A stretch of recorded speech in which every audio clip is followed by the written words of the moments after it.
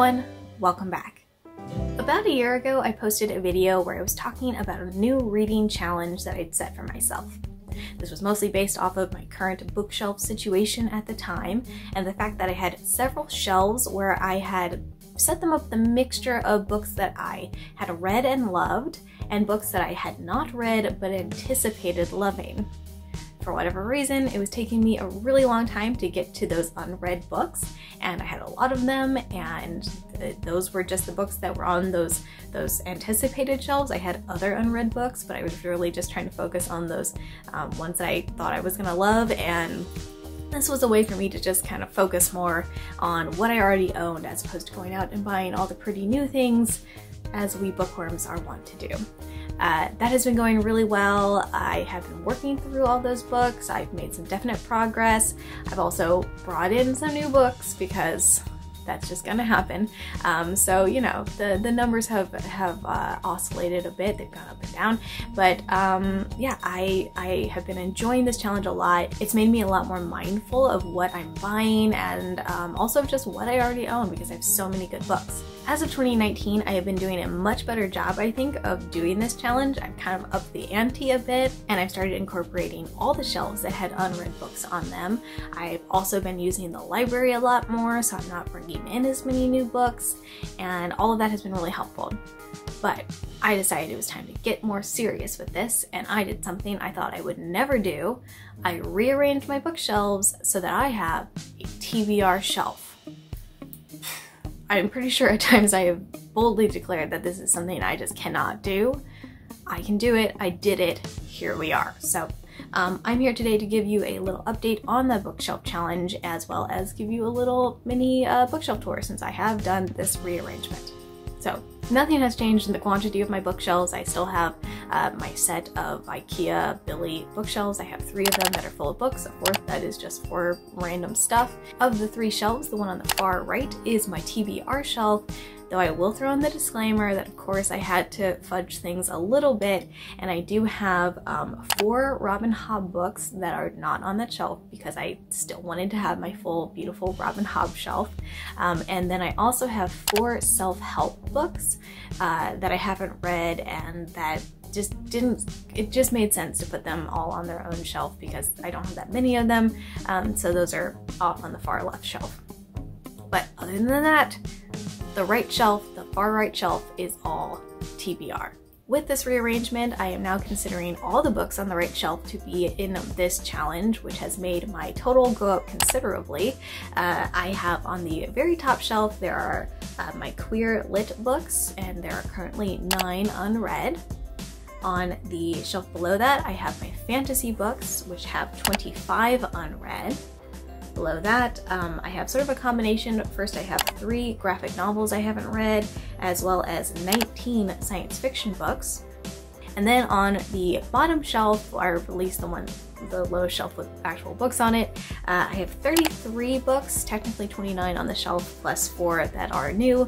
Um, and those are kind of miscellaneous. Yes, you might notice there are some in there that could qualify as sci-fi or fantasy or whatever, but this made sense to me to put them all together. So that's how it is. Um, altogether there, I have 89 books. I think in my last video, my total was more around 50. So um, I have read through a lot of things. I've added some things. We're, we're, I have a lot of books to get through. As a side note, uh, I was so excited about all this, I decided to actually go through my Kindle and uh, make a little collection with unread books that I wanted to have as part of this. Um, and Jess and I have combined our Kindle accounts. We have like a combined household Prime account. So that includes her books as well. And um, that was really a sad state of affairs because I have 129 books in that collection that I think is, I, am glad to be aware of it, but I'm not necessarily counting it as part of this challenge because that's just a lot to deal with. Um, but it's good for me to know that that's happening. Then with the uh, the other shelves that I have, just to go through a little bit, um, I have uh, in the center shelf, the top is sort of my fancy fantasy books. They're, you know, pre copies of books that I really enjoy in the fantasy genre. Um, below that, I have a mixture of science fiction books uh, on the far left, or Yes, far left it's uh, vintage sci-fi books from S'more Sci-Fi Book Club, and then on the right it is some of my more favorite modern science fiction books. Um, below that and kind of right behind me here are all of my Sherlock Holmes books, which is admittedly mostly Mary Russell novels uh, by Laurie R. King. I have a very large collection of those. Um, then is the aforementioned Robin Hobb shelf with all of my beautiful matching Robin Hobb books. Um, and below that is a collection of mass market paperbacks. Um, with one exception of a Nightrunner short story collection because most of my mass market books are the Nightrunner books. Um, and then on the very bottom of this shelf are all of my um, graphic novels that I've read. Then finally on the left shelf, the far left shelf, at the top I have the aforementioned self-help books, which is kind of split half and half between read and unread. Um, below that I have a shelf that's a mixture of um, fantasy and sci-fi books that I have read and enjoyed.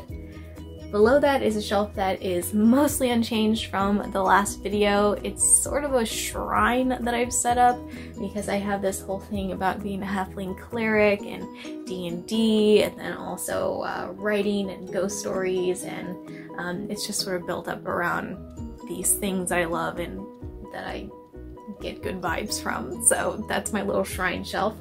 Um, below that is another sort of mixture. It's got some classics as well as a few hardbacks that just didn't really have a great place and this made the most sense to me. Um, and below that are my favorite read queer lit books. Um, and then below that is a cat scratcher, which is also important. Um, so that's kind of where I am with my shelves, with my reading challenge. I'm really excited to have this new setup. I am actually really pleased that I was able to set it up in such a way that it's split between read and unread, but I also have that genre divisions because that that's just really what I love in my shelves. I love to have them divided up by genres and um, have those little sections of like an author like Robin Hobb where I just have a ton of their books that makes the most sense. It makes my brain happy. So being able to do a TBR shelf with that still happening was fantastic. And there you have my updated reading challenge, my updated bookshelf tour. Let me know down in the comments what you think of this challenge. Have you been doing something like this or have you done it in the past? Do you have a remarkably small TBR? Because I don't know how people do that. It's I have 90 books on my shelf that I have to read. How did this happen to me? Um, let me know all your thoughts down in the comments. And thank you all so much for watching. Please like this video if you enjoyed it and subscribe if you'd like to see more. I hope you all are having a fabulous week so far and I will talk to you soon. Bye!